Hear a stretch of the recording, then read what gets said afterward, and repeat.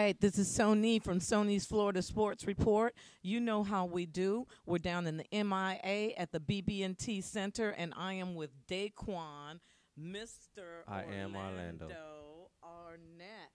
And um, Miguel Zuniga came all the way out from San Diego, California, just to go back to sleep. Talk about it. Um, you know, uh, I just came out box smart, stuck to the game plan, uh, be smart, pick my shots well, and uh, you know, I landed the right one in the fifth. Now he was laying some. Uh, we're talking about uh, Mi- uh, Miguel Zuniga. We'll give it up to him. Uh, he took it a couple rounds really hard to the body. What were you thinking when those body shots were coming in? I didn't see you throwing a lot of combos, but then it only takes one punch and then he's down. Um, you know, I, I didn't want to throw uh, too many punches on the inside because I knew he was uh he, had good timing. So you know, I didn't want to get caught with any, anything uh, trying to get out too many punches at once. So I just you know, like I said, I just sat back, picked my picked my shot smart. Um, none of his shots were uh, were hurting me anything. I was blocking most of them, so you know, I landed the right one. What is the biggest difference in this fight and your last fight was with Brandon Quarles on uh, Showtime? We talked about it. Um, I critiqued you a little bit on that. You critiqued yourself a little bit on that. How did you come right into the ring this time? Um, like I said before, we, we corrected the weight problem. As you saw this time, I made weight with no problem. Even uh, I think four pounds lighter than my last fight.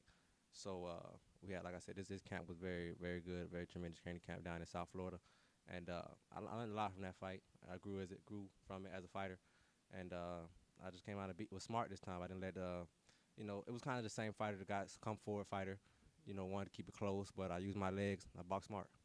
You're now at 11 and 0, and now that brings Seven knockouts. seven knockouts. That you didn't let me get to it. He told me seven knockouts. I know, Uh, man. Gene Paldo is uh, Daquan's father. We're gonna talk. ab- Uh, tell me your assessment of that fight.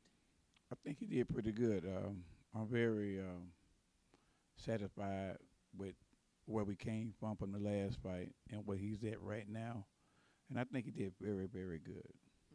So I would give him something like a B plus. Never an A though, right? Never an A. What do you think? That's what it's all about. You know, learning from the old guys and getting better. So uh, that's what it's all about. You guys, this is Sonee from Sonee's Florida Sports Report. You are going to hear a lot more from this young man. We're so proud of him tonight. Daquan. Arnett, Mr. I am Orlando.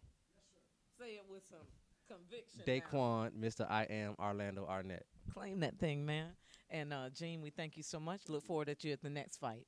All right, Sonee's Florida Sports Report coming at you.